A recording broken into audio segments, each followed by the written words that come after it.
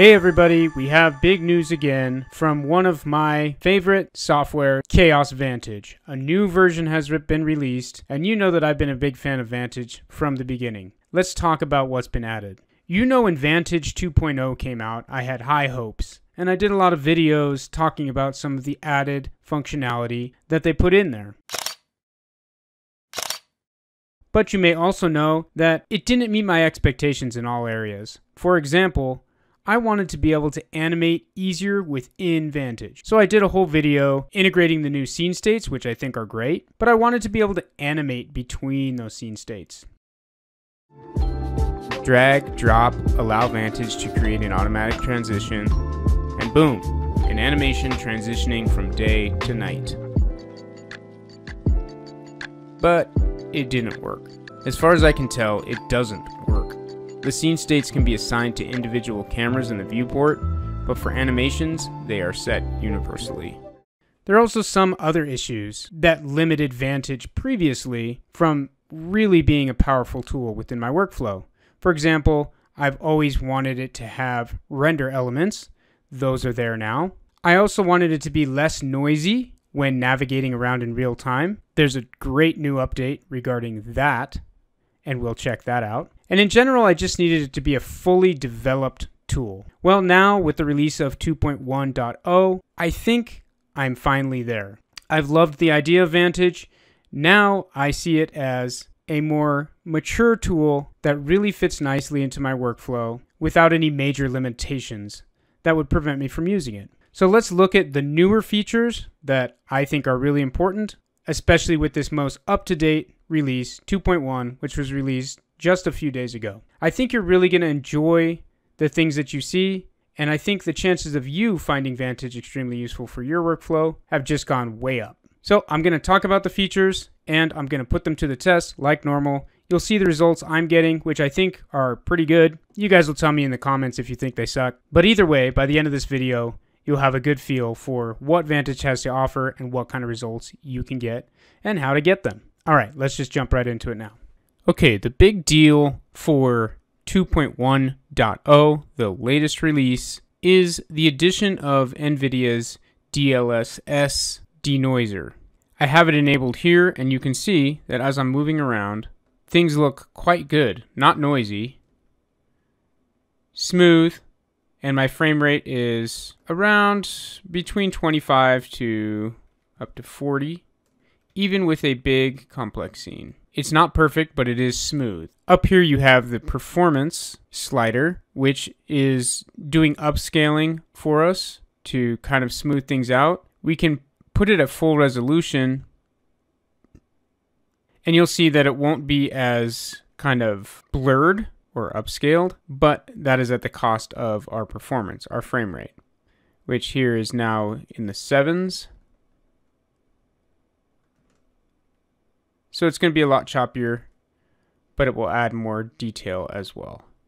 What I also find, if we go to here, edit, preferences, is that you can use this in combination with other denoising options.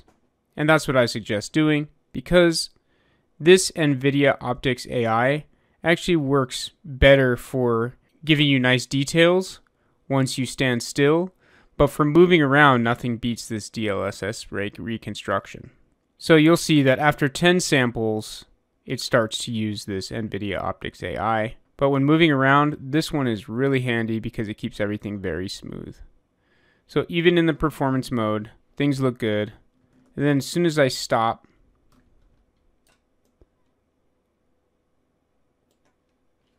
you'll see it switch and then it starts giving you really nice detail without any noise. If the denoiser is off, you'll see what it looks like, especially when you move.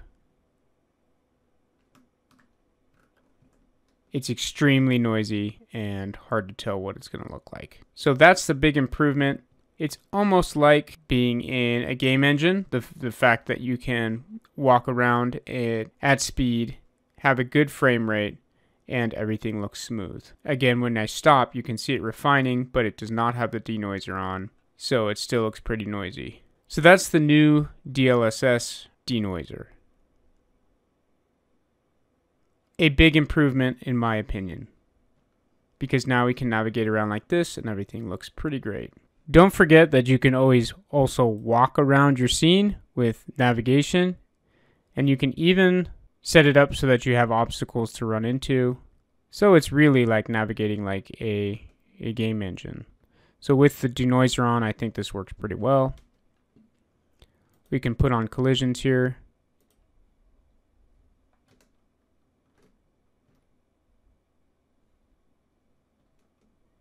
If you want to see all the different features that Vantage has to offer, then check out my other videos.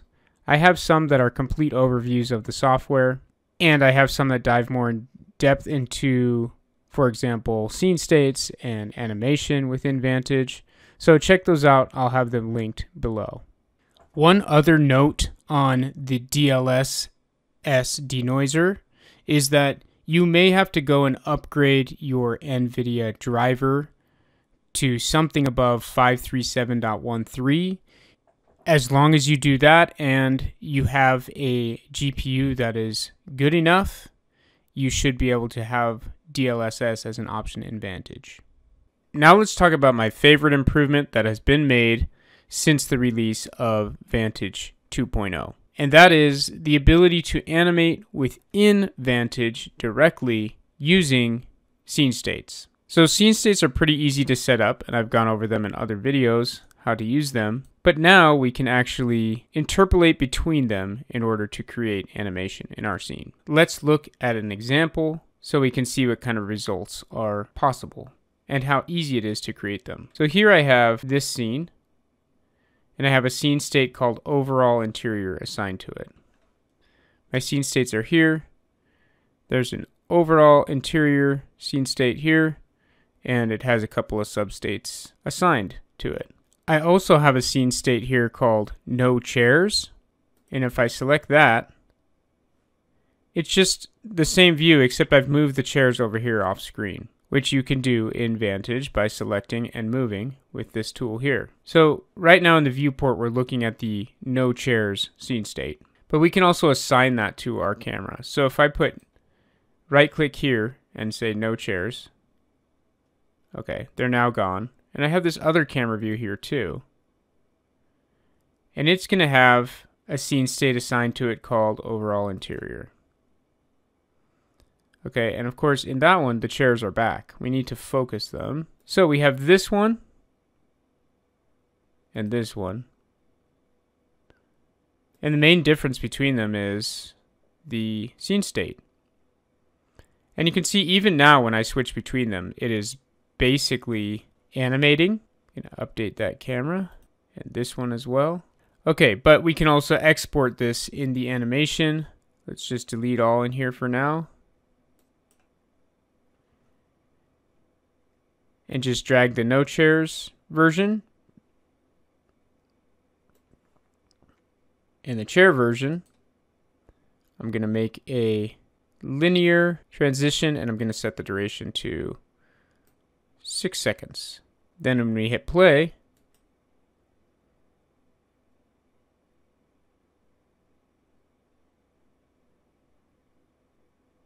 it interpolates between the no chairs and the chairs version. Maybe a little too slow. You could adjust that. And why would you want to animate it like that anyway? I don't know.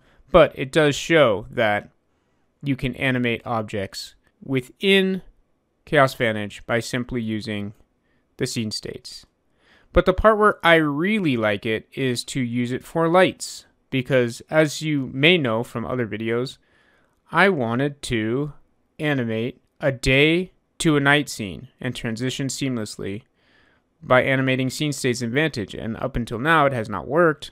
But with the release of 2.0.1 and 2.1.0, we now have that capability. So let's look at that as a quick example.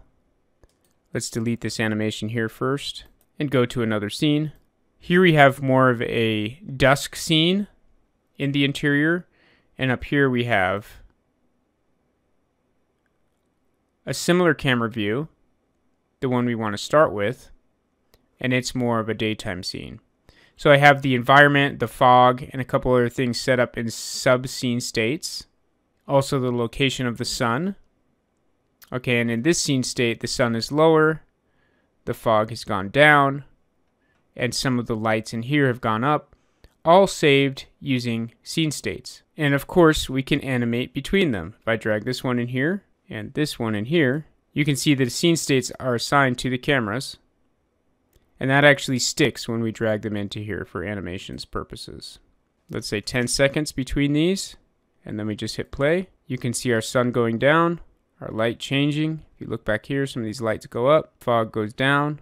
We can put a pause after this, add a pause of three seconds, and now we have an animation of the daytime changing, and it's as simple as that.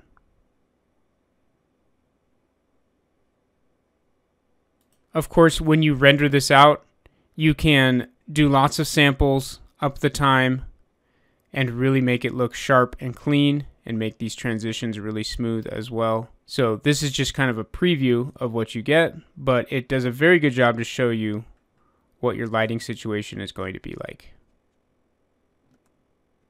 So hopefully you can see how handy Vantage is to have to look to walk around your scene in real time, set up cameras, compose shots, compose animations, and now even add simple animation to your scene all with real-time viewing. I'm a huge fan of real time and I've said it a million times there's no there's no other way to animate cameras than in real time with direct feedback on depth of field with the composition the timing all these things. It just has to be done in real time and Vantage is a great tool to do it and it keeps getting better. One final look at a few additions they've made.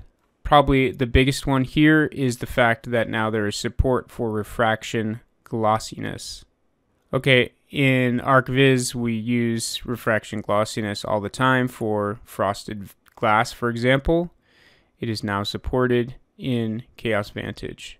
So again, they continue to add features that ArchViz artists find useful and that they need on a day-to-day basis. I know what everyone's going to say in the com comments. No displacement yet? This is worthless well, here's a whole scene that is working, in my opinion, quite nicely without any displacement.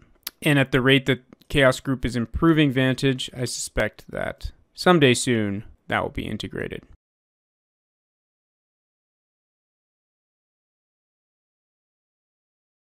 I don't know. You guys let me know. Is Vantage a useful tool to you? Is it getting better and better? Have they made the additions that you need in order to add it into your workflow. And if you're not using Vantage, what are you using? I'd love to hear from you guys about your workflows and your opinions on the matter. I like Vantage because it integrates so smoothly with V-Ray, which I already use extensively on almost every project. And getting it from there to here is entirely seamless and easy. So those are the Vantage updates. I think they're great. Let me know what you think. Please like the video if you find this information useful and if you want me to continue making videos. And please subscribe, it really helps me out. Thanks a lot for watching and I'll catch you in the next video.